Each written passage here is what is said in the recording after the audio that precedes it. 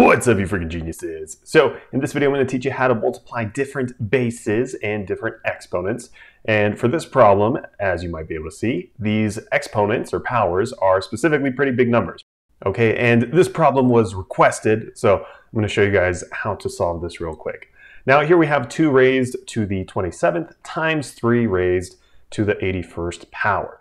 Now you always want to find a way to match either the bases or the exponents. In this case, we can actually match the exponents because if you notice something, 81 is a multiple of 27, right? 27 divides evenly into 81. Specifically, 81 is equal to 27 times 3. Okay, so this is how we're going to write rewrite 81 because now we can match the exponents, right? Now we have a 27 here to match the 27 here.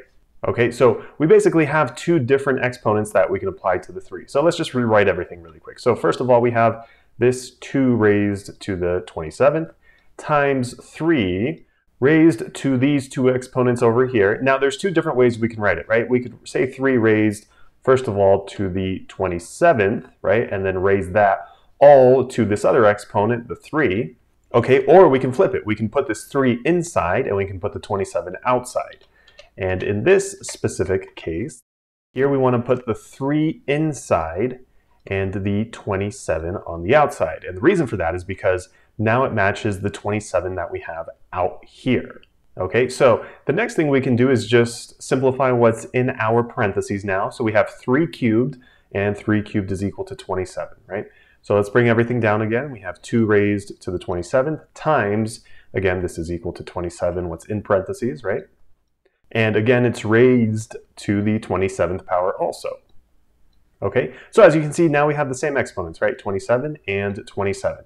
So to multiply these two numbers together, we just have to multiply the bases together. So 2 and 27, right? So 2 times 27. And then we're going to raise that to whatever exponent they have in common, which in this case is a 27 as well.